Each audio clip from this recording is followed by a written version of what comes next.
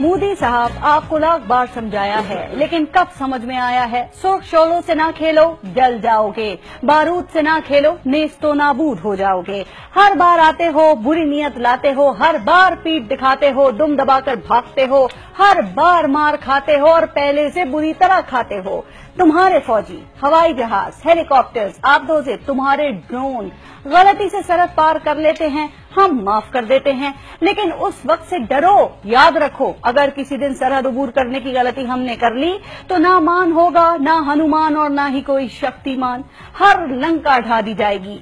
मोदी साहब, आप भी फ़िल्में देख देख कर पूरे फिल्मी हो गए हो। कितनी बार समझाया है, जरा सामने से आओ, आँखों से आँखें मिलाओ। कुछ हमारी सुनो, कुछ अपनी सुनाओ।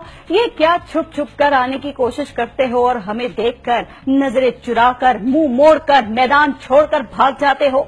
कश्मीर में बेदर्दी के साथ बच्चों से उनकी आँखों की रोशनी छीनकर, ताकत से जज्बा हुरियत को दबाकर, सोचकर और कंट्रोल लाइन पर ज़िंदगी, दहशत, वहशत सफाकियत और बर्बरियत का खेल खेलकर, न जाने मोदी सरकार क्या समझने लगी है। हमारी रफ्तार आपकी सोच से भी ज़्यादा तेज है। हमारे इरादे आपकी तवक्को से भी ज़्यादा मज़बूत हैं और हमारे अजाइम आपकी नीयत से भी ज़्यादा बुलंद हैं।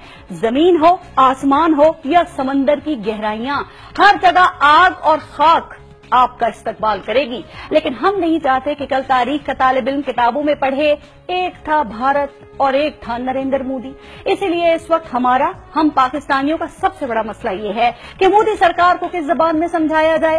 क्या भारत को उसी की जबान में समझाया जाए, उसको बताया जाए कि हमें ये जबान भी आती है। या फिर अभी मौसर सिफारतकारी के ज़रिए भारत को, मोदी सरकार को अमन से रहने का तरीका और जंग का नुकसान समझाया जाए।